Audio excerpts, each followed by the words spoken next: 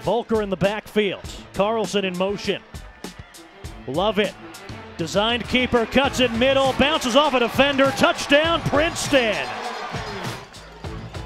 On third down and three, Gerbino's going to get leveled in the backfield. Ben Ellis on the safety blitz. Third down and seven for the Tigers. Lovett getting a lot of time over the middle. Horsted on the deflection, and he wins that one. So Terry got him the first time. Jesper Horsted with the counter punch for the first down.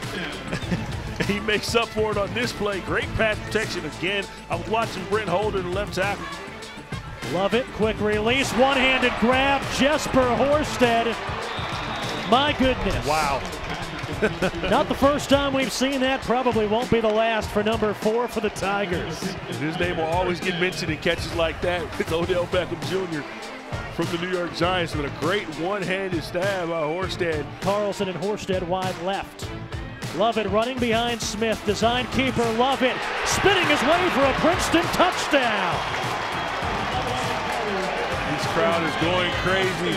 Cody, if you like it, I love it. John Lovett with the quarterback sweep. The senior gets his offense into the end zone to take the lead here in the fourth quarter in the tightest game that they played all season long against a ranked opponent in Dartmouth. Here's a short situation he can convert.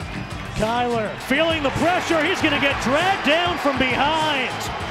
Mike Wagner with the sack on third down. Final score from Princeton, New Jersey. The Tigers 14, the Dartmouth Big Green 9. Princeton is 8 0, 5 0, alone atop the Ivy League standings.